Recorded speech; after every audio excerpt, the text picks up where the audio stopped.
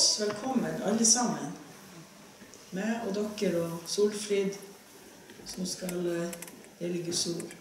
Jeg har vært så heldig å fått raida i Lamhavn siden tirsdag.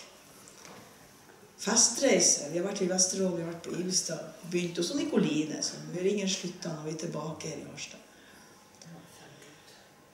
Vi skal være sammen her.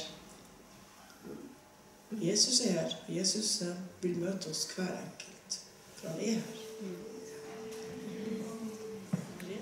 Jeg vil uttrykke min kjærlighet til Gud.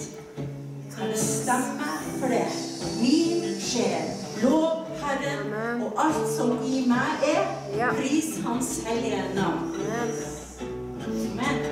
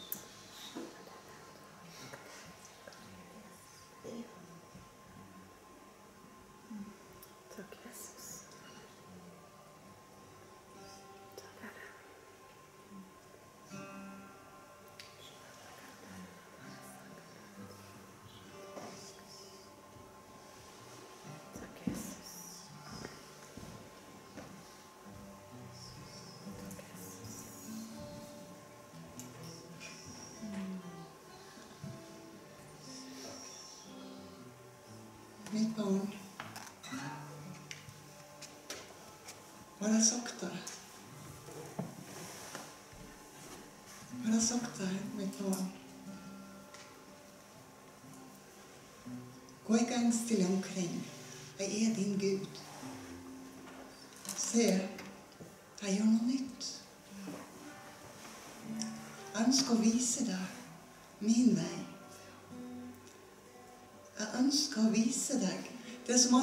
til deg over lang tid.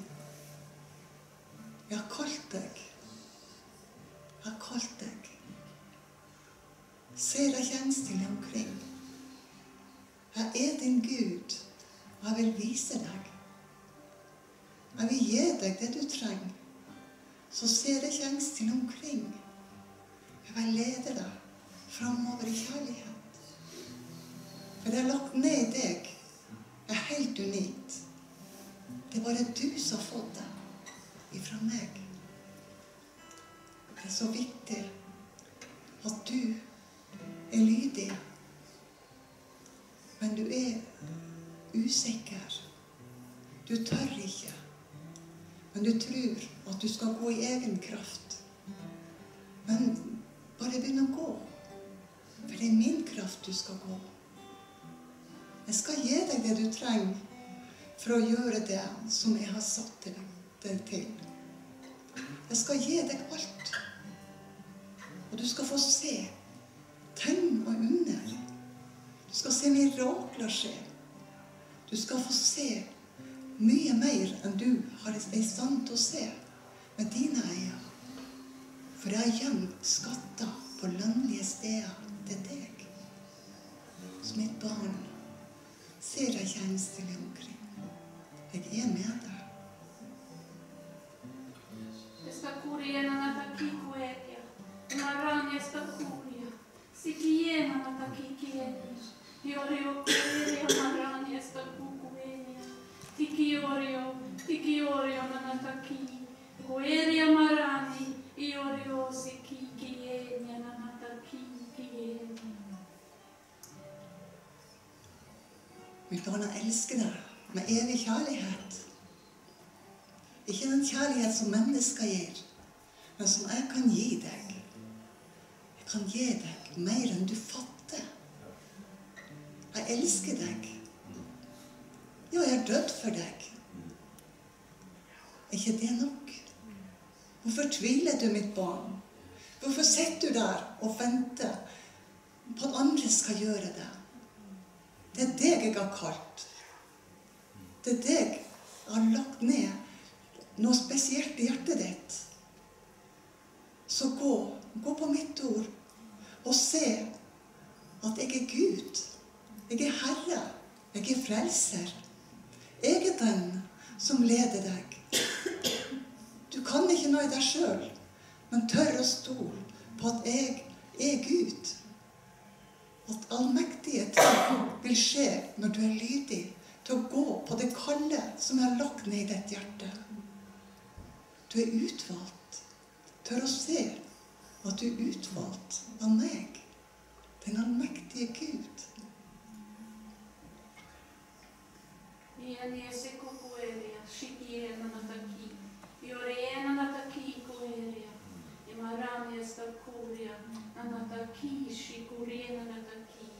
Ieria maraniesta. Hvilken mer bevis trenger du for at jeg, min eksistens? Du kjenner meg. Du har levd sammen med meg i mange år. Du har levd sammen med meg, og du har fått oppleve mange ting med meg. Du vet hvem jeg er. Så hva er det som stopper deg? La få lov, litt barn, å vise deg. Vise deg alle de skattene jeg har for deg. Stol på meg, og du får se underfulle ting skje. Tegn, undre, mirakler. Du skal se masse mer enn du har forstand til å se meg med dine menneskelige øyne. Men jeg skal gi deg guddommelige øyne, så du kan se. Se med mine øyne. Se ting bli åpenbart for dine øyne. Hvis du bare tør å stole på meg. Så mitt barn, jeg venter på deg. Amen.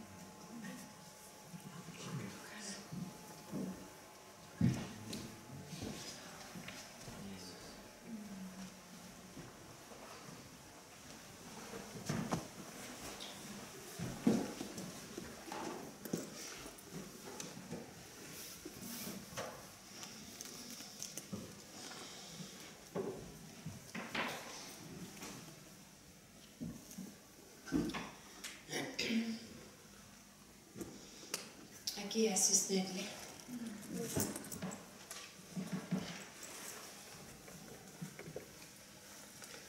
Jeg tenker mange ganger på hvorfor samles vi? Hvorfor, hvorfor kommer vi? Hvorfor kommer vi til møtene? Hvorfor Sånn som Johannes, han spurte hvorfor i all verdens navn kommer dere ut hit i ørkenen? Hva var det dere kom for å se?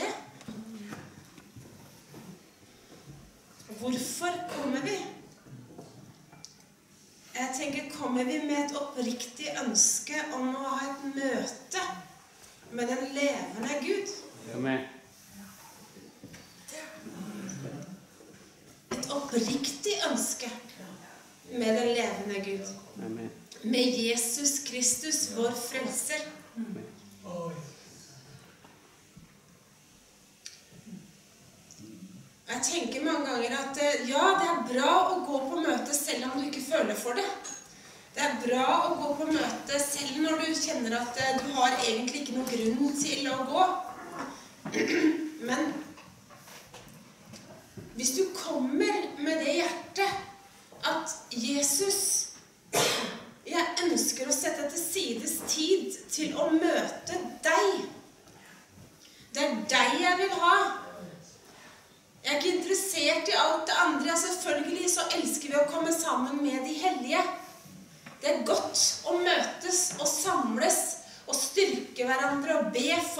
med hverandre. Men jeg har kommet hit fordi jeg vil ha et møte med den levende Gud i kveld. Og så får han gjøre akkurat som han vil. Og så er vi ikke så interessert i formene og fasongene, for det eneste jeg vil ha, er Jesus. Og det eneste jeg ønsker å gi, er Jesus. Og det er sånn jeg tenker noen ganger jeg sier Jesus, la meg ikke bare være et snakketøy. Vi snakker og vi snakker, og det er så mye ord. Men jeg ønsker at Gud skal stadfeste sitt ord med det medfølgende tegn og under. At han skal komme med kraft. Men jeg tror han trenger at vi roper til ham med et oppriktig hjerte. Vi ba for dette møtet i går når vi var på Ibestad. Og da kjente jeg hvordan Guds ånd sa det at Herren søker sitt folk. Amen. Han søker sitt folk. For i bønnen som ble bedt av, så var det at Herren besøker sitt folk. Men jeg kjente i min ånd at vet du hva, det er mer enn det. Han ikke bare gjester oss. Han søker oss. Og han sier, 'Vil du gi meg ditt hjerte 100 Vil du gi meg hele ditt hjerte?' Hele ditt hjerte. Fordi at han, hans øyne farer over hele jorden for å støtte den hvis hjerte er helt med ham. Helt med ham. Og han er ute etter hjertet vårt. Han er ute etter hele livet vårt. Og tenker ja, men det klarer ikke jeg å gi. Nei, han forstår det. Men du skjønner, mennesker dør der ute. Mennesker dør.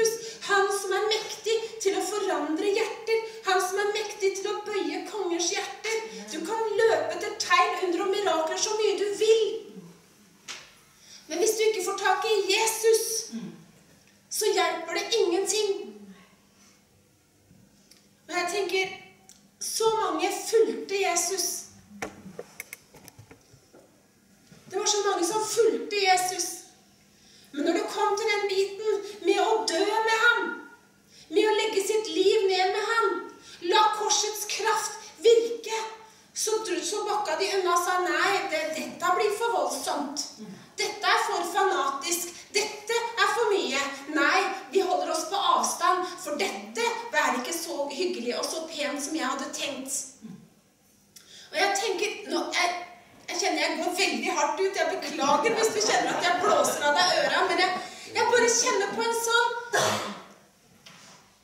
Han søker sitt folk. Han søker sitt folk i kveld, en lørdagskveld i Harstad. Han søker deg. Og jeg kan preke så pent og så fint jeg vil. Det hjelper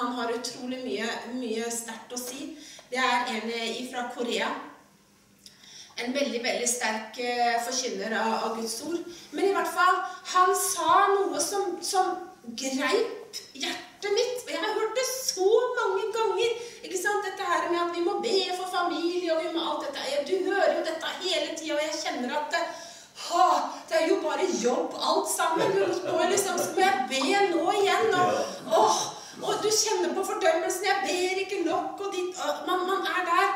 Men så forteller han noe som imponerte meg så enormt. Han fortalte det på en så ydmyk måte. Han sa han og kona hans hadde hver dag bedt for sin familie. Hvis han var på reise, så var de da på Skype eller på telefon eller på tekstmeldinger hvis det gikk an. Og de ba sammen for hele familien. Og nå var det fortalt han, nå var den siste endelig blitt frelst etter 35 år. Så hadde han endelig tatt imot. Så nå, var, nå hadde de på en måte brukt opp hele slektslinja hele veien. Men de hadde bedt alle igjennom. De hadde stått trofaste, og de hadde bedt. De hadde ikke gitt seg. Og jeg kjente på det at jeg kunne jo kjenne på en fordømmelse.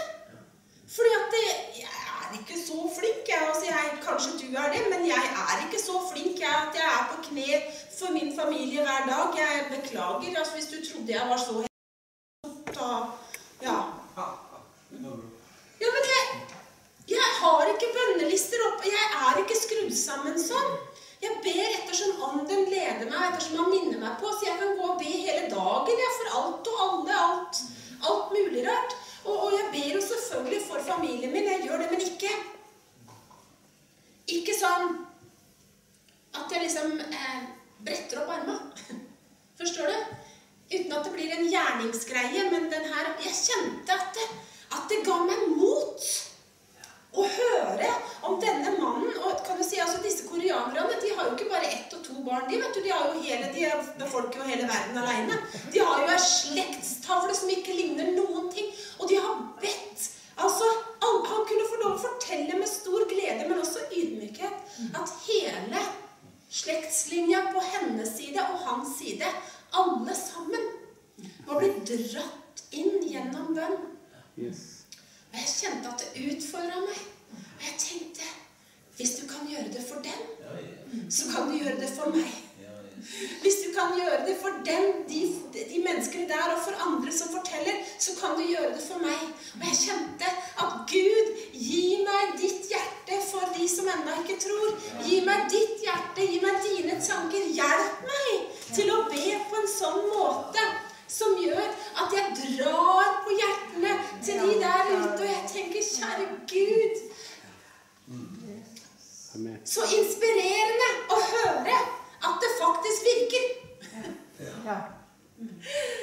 Og jeg tenker liksom, Vi har jo bedt i mange år for våre Jeg har jo jeg er jo velsigna, mannen min er frelst. Takk og lov for det. Det er jo et mirakel bare det. Det er mange som går uten menn som går med Gud. Døtrene mine er herlig frelst.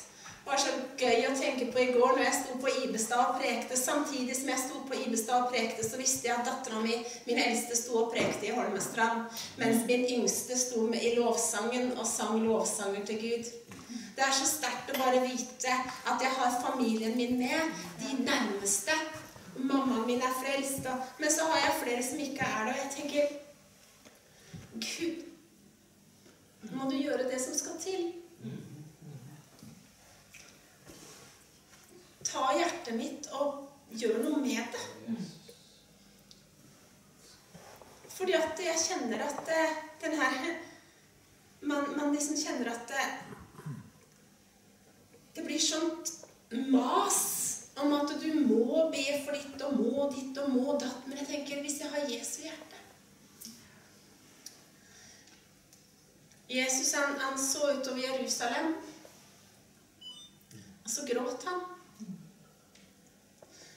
Og jeg tenkte det, når jeg tenkte på de tankene, så tenkte jeg Mon tro om Jesus noen ganger sitter Du skjønner tanken? At han sitter her, og så ser han utover Harstad. Og så sier han Åh, jeg ville samle dere. Jeg vil så gjerne at dere skal komme. Jeg vil så gjerne Gud lengter etter å møte alle menneskene her i byen. da, Når vi bare tar Harstad, nå er det jo flere som er representert her. Men, men hans, hans hjerte, hvordan han gråter og lengter etter hver eneste sjel i denne byen. Denne ene byen trenger at vi lar hjertene våre bli rørt av Jesu hjerte. Og jeg, nå må du ikke tenke fordømmelse, for det er ikke det. Jeg bare tenker, tenk om, tenk om vi kunne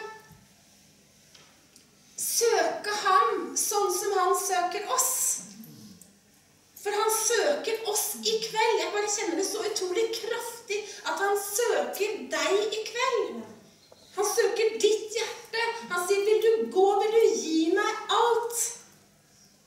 Ja, men jeg klarer ikke det. Nei, jeg, ikke, jeg, jeg, kan ikke presse noen, men hvis du kjenner Guds ånd dra på hjertet ditt, så vær så snill og si ja, Herre, hjelp meg til å følge deg med det jeg klarer, i hvert fall, da.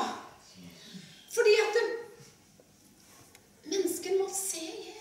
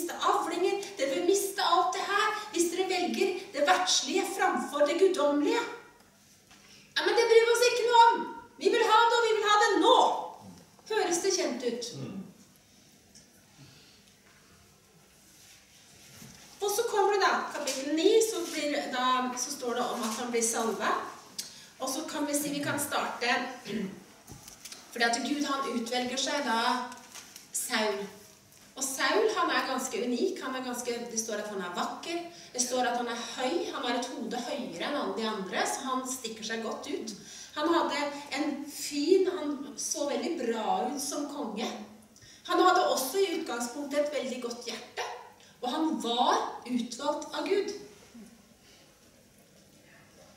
Nå står det fra vers 1 i kapittel 10.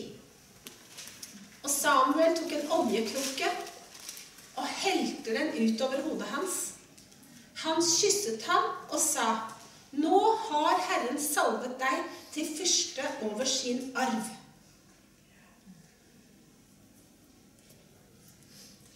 Samuel ble salva.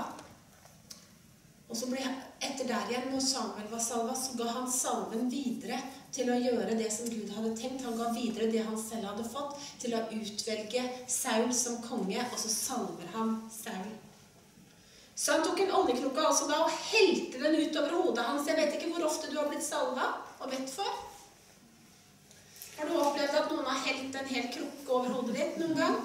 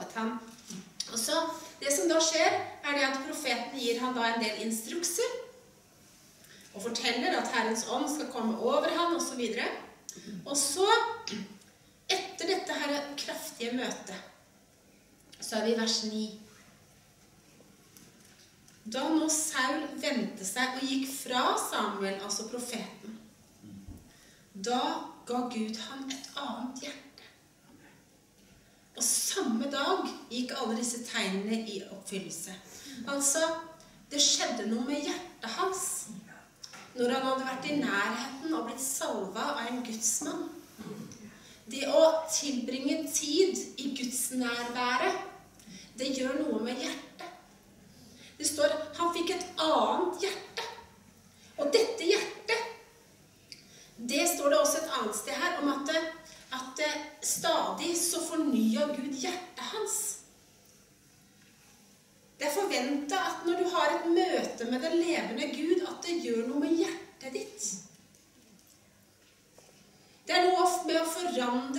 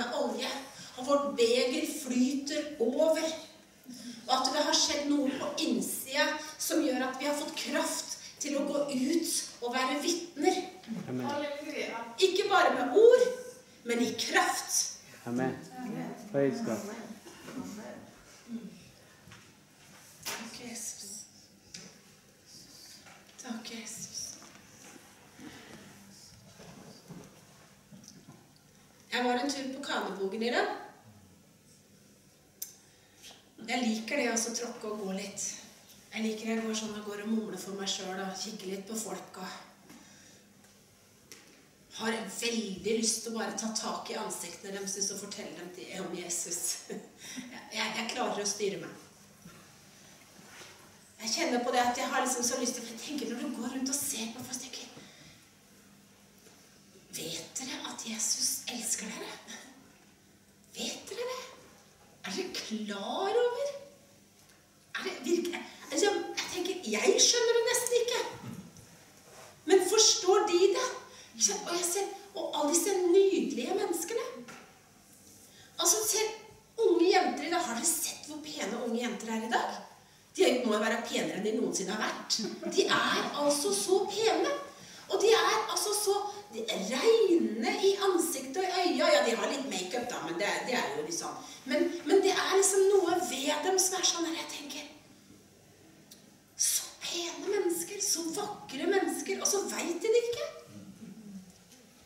De er ute etter å forandre på sitt ytre. De skal liksom ha mer av ditt og mer av datt, og de skal ha forandrer på alt som de har rundt seg, og, og, de, og de søker etter alt mulig, så veit de ikke at de er elska. De veit ikke at de har en far i himmelen som, som, som roper og lengter etter at de skal komme hjem til fadershuset. At de skal komme hjem til ham og bare få lov til å bli tatt hånd om. Bli bevart,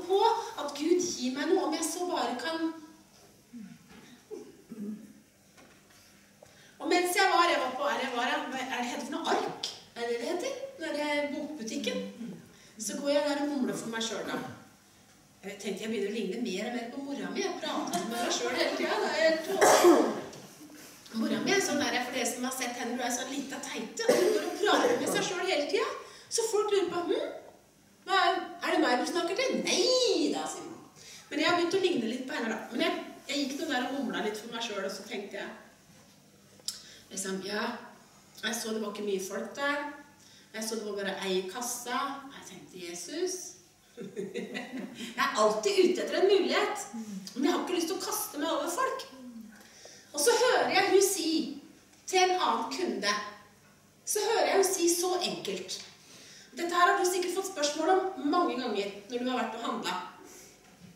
Er du medlem? Ja. Du hører det der? Jeg tenker herlighet, nei, medlem her, jeg husker ikke, jeg har, hvilket kort var det, hvor eh, er det tre for én og to for tolv, og jeg vet ikke, er, hva er, altså det er jo så mye greier, medlem her og medlem der. Men du spør ganske enkelt, er du medlem? Forsvaret nei. Og kommer tilbake med svaret, vil du bli det? Og jeg tenkte, ja, den likte jeg. Og jeg tenkte, hm, er du frelst? Nei. Vil du bli det?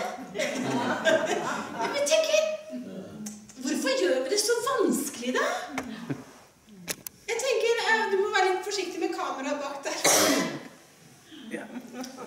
Det er den. Men, det går bra. Eh, Jeg tenker, vi gjør det så vanskelig. Du vet at det, som disse, disse alternativene de har ikke noe problemer hvis du er sjuk og sier 'skal jeg hile deg litt'? Nei, det har de. Disse har ikke skam med livet. De bare kaster seg på, de. Mens vi er sånn at vi har den største gaven av alle. Og så tør vi ikke. Og jeg tenkte når jeg tenkte, tenkte jeg, Hvis jeg kommer til kassa, og det passer, så tenkte jeg kanskje jeg skal tørre å komme med et kontraspørsmål. Men tror du jeg turte det? Det ble liksom litt gærent. Men jeg tenkte Så kan du si, når jeg da gikk derifra, så gikk jeg der og prata med meg sjøl. Da gikk jeg og mumla. At det der, det var jo egentlig ganske smart, tenkte jeg. For egentlig så kan man gjøre det så enkelt at man bare kan spørre Ikke er du medlem, da? Det blir litt feil. Men du kan spørre Du kan jo liksom spørre Og hvis du får nei, så går det an å spørre liksom Ja, vil du bli frelst? Du kan faktisk bli ganske overraska over hvor mange som egentlig venter på at noen skal spørre. Jeg søkte Gud egentlig da jeg var en 13-14, så søkte jeg Gud. Men ingen fortalte meg at jeg kunne bli frelst. Det var ingen som tenkte på det å fortelle denne forvirra jentungen at vet du hva? Du kan bli frelst. Du kan få ta imot Jesus. Vil du bli frelst, Solfrid? Ingen som spurte. Jeg tenker Hva om de hadde turt å spørre meg? Jeg tror faktisk at jeg hadde svart ja. Og tenk hvor mye jeg kunne vært spart for hvis jeg hadde svart ja den gangen. Jeg tenker Jesus må hjelpe oss til å gjøre det enkelt. Så jeg gikk der og mumla for meg sjøl, og så treffer jeg jo da på Lisbeth og Bjørn, og de ser vel antakeligvis at jeg går der og mumler og prater som en eller annen tullkjerring. Og da måtte jeg jo bare fortelle dem det med en gang, da. Om jeg, om jeg sa det ordentlig, det er jeg ikke helt sikker på. Men i hvert fall, jeg tenkte Hvorfor gjør vi det så vanskelig for oss sjøl? Hvorfor tør vi ikke å spørre?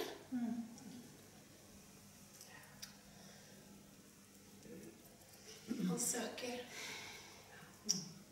de som hvis hjertet er helt med ham. Og Derfor så kjenner jeg det sjøl at eh, jeg, jeg føler ikke at jeg er der helt, for jeg, jeg tydeligvis så bestemmer jeg litt sjøl fortsatt. Vi bestemmer litt mye sjøl. Jeg vil gi deg alt. Har du sunget den noen gang? og vi står der og Gud, jeg vil gi deg alt! Fra Ja, jeg vil gi deg alt. Jeg kjenner en kar som var helt sikker på at han hadde gitt Gud alt. Herlig leder for en kirke. Han, var, han har vokst opp i menighet, alltid vært en troende. Han var helt sikker på at han hadde gitt Gud alt. Så ble han med til Ballangen. Ballangen er et sted som utfordrer. Den hellige ånd er veldig kraftig til stede. Og på en av møtene så var det slutten av møtet. Så sto han der, og så forsto han at han ikke hadde gitt 100 Han hadde gitt sånn 98 og syntes det var bra. Og det er bra, det.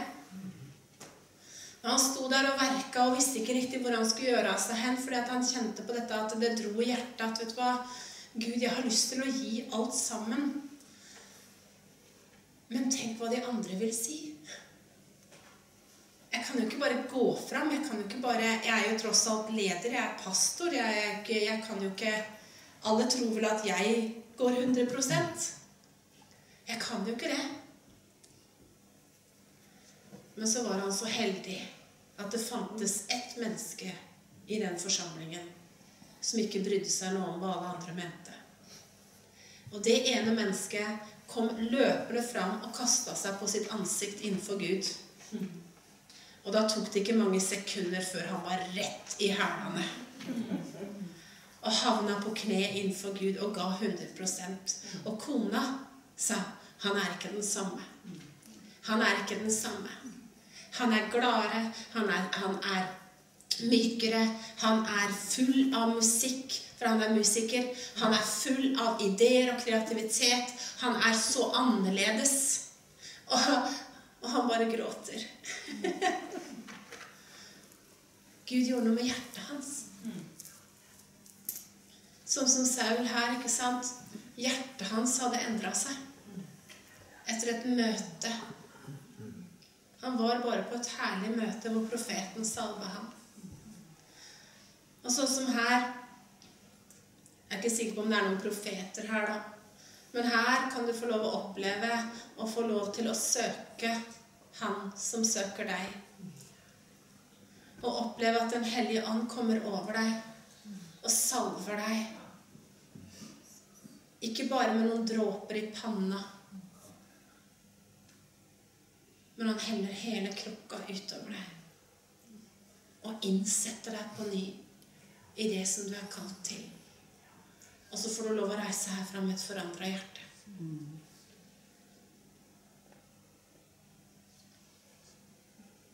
Jeg kjenner at det er Han søker oss. Han søker oss med en iver som er så enorm. Han søker oss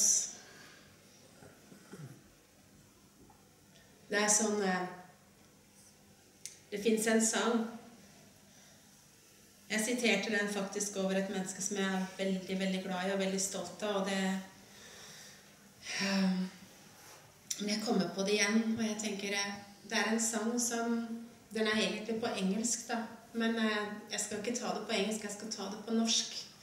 Og i noe av refrenget der, eller i den, så står det det at eh, det fins ingen skygge han ikke vil lyse opp. Det fins ikke noe fjell han ikke vil komme over. Det fins ikke noe vegg som, altså, som hindrer, som han ikke vil bare sparke ned. Det fins ikke noe løgn han ikke vil kaste til bakken for å få tak i deg og meg. Altså, Gud er så gal etter deg. Hans kjærlighet går gjennom hva som helst for å bare bryte ethvert hinder. Hva du har lagt foran hjertet ditt for å beskytte det, det ønsker han å bare mildt fjerne. Alle disse filtrene som du har lagt der pga. skuffelse på skuffelse, av mennesker som har såra deg, og kanskje ting som du har opplevd i forhold til dine egg. Kanskje du har skuffa deg sjøl for alt jeg veit. Alle disse tingene som kommer på. Dette som legger seg som, bare som et teppe. Og dette her teppet blir tjukkere og tjukkere og tjukkere. Og tjukkere, og til slutt så greier du liksom ikke å slippe folk inn. Og du greier ikke å slippe deg sjøl ut. Og Gud han, får, han sliter med å komme gjennom teppet, og du sliter med å få tak i ham. Men jeg skal fortelle deg at da Jesus døde på korset, så revna forhenget fra øverst til nederst. Hans kraft er nok til å rive i stykker det der filteret som du har greid å putte rundt hjertet ditt. Det skal revne fra øverst til nederst. Gud skal berøre, så han kan komme rett inn og berøre hjertet ditt i kveld. Hvis han får lov. Hvis han får lov. Det er noe med det han venter på vårt ja. Fordi du sa ja, så kom han. Fordi du sier ja, når du sa ja til frelsen, så flytta han inn. Når du Men- sa ja til hele himmelen, så kom hele himmelen og flytta inn på innsida. Om du sier ja til han, at han får lov til å rive i stykker alt som står imellom deg og han, enda en gang, og bare rive det i filler, sånn at du fritt kan løpe inn til han. Han står på utsida av dette forhenget og sier, 'Kan jeg få komme inn?' Kan jeg få komme inn forbi dine skuffelser, forbi alt som har såra deg, forbi alt som har bare bygd seg opp og bygd seg opp og bygd seg opp? Kan jeg få lov å komme inn og bare holde rundt deg? Stryke deg over håret og si at det kommer til å gå bra? Kan jeg få lov til å bare være far? Din far? Kan jeg få lov å være din Gud? Kan jeg få lov igjen gi deg tilbake frelsesfryden? Kan jeg få lov igjen gi deg bønnens ånd og nådens ånd? Kan jeg igjen legge over deg bønnebyrden for din familie, bønnebyrden for de som er rundt deg? Kan jeg igjen få lov å komme inn? David sa, 'Skap i meg et rent hjerte'. Jeg ønsker at det skal være bønnen min, i hvert fall i kveld. Eller sikkert skal man det igjen? Ja. For han trenger regn i hjertet, for han kommer snart. Vi veit at han står for døra nå. Vi veit at han kommer, og vi veit at tida er kort. Og det er ikke for å skremme, men det er noe med dette her med at jeg kan gjøre det til uka, jeg kan gjøre det neste år, jeg kan gjøre det seinere. Ikke nå, Jesus. Jo, i dag er frelsens dag. I dag er han å finne. I dag er det nåde. Ikke om du, kom, om, om du står opp i morgen. Vi veit jo aldri noen ting. Han vil ha hjertet ditt.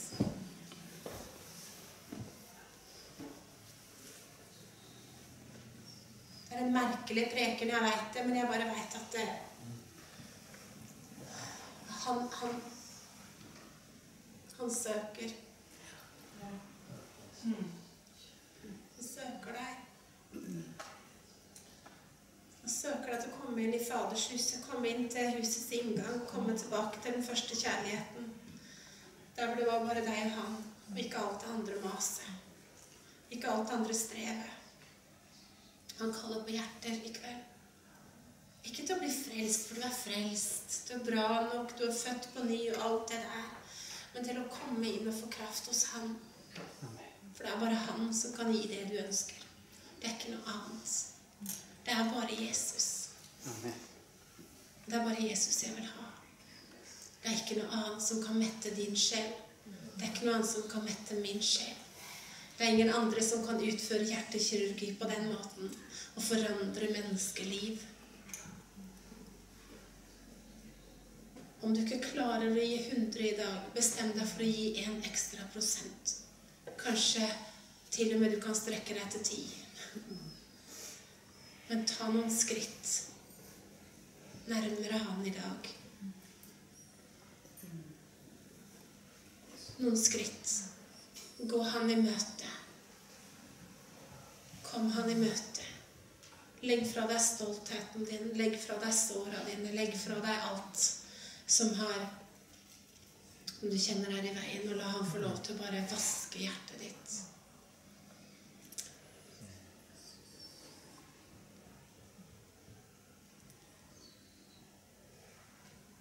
Han søker ditt ansikt.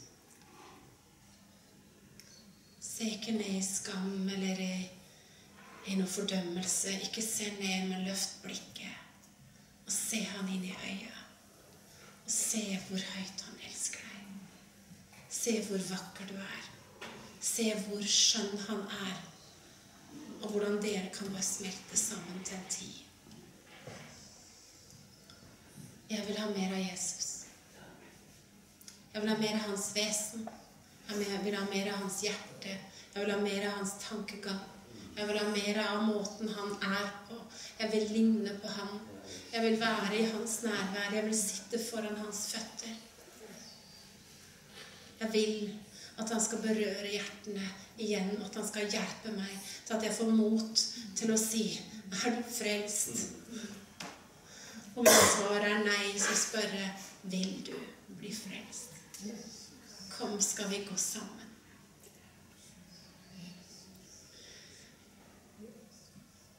Jeg kjenner på det er tid for eh, å lytte litt på Jesus når jeg prata en del. Men du kjenner Jeg tror du kjenner godt at Jesus drar på hjertet ditt.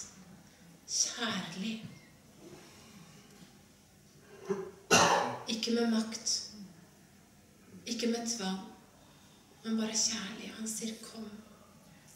Kom. Det fins en sang som jeg absolutt ikke kan, men den heter 'Kom næra meg, du menneskebarn'. Kom næra meg. Du finner hvile i min favn. Kom næra meg. Det er der du finner det. Kom nære.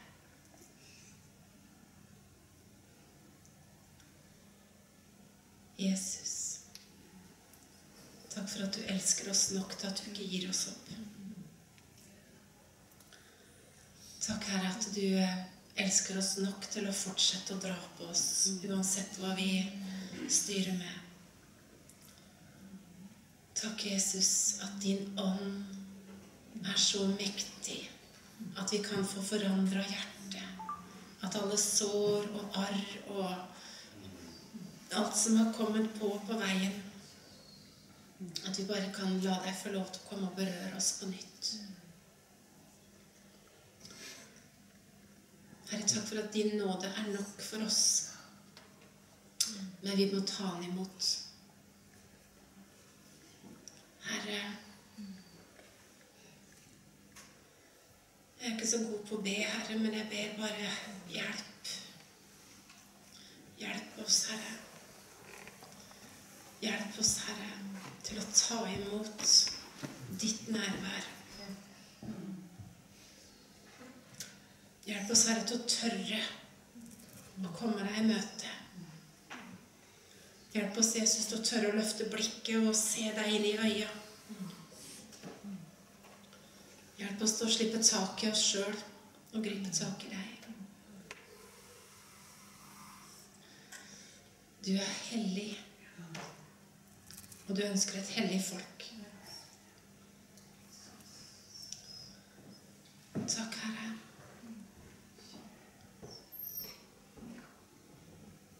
Takk, Herre Jesus, at du fortsatt kaller. Fortsatt så kaller du. Takk, Jesus.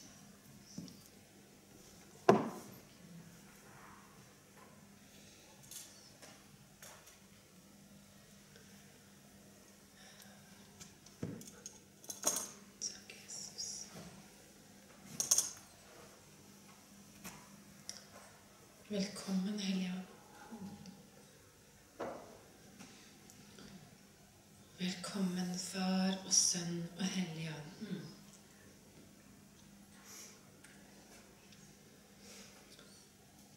Velkommen.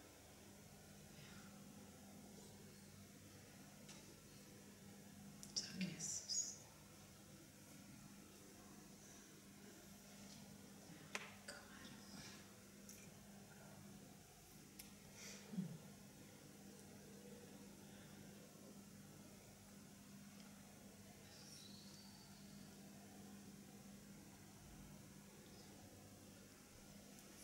Takk, Jesus.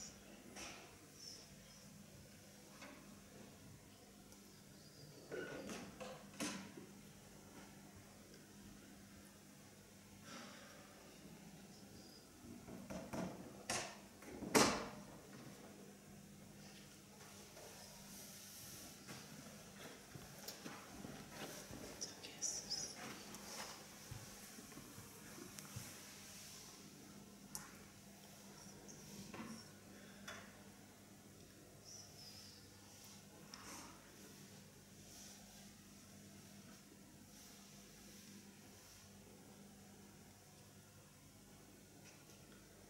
Takk, Jesus.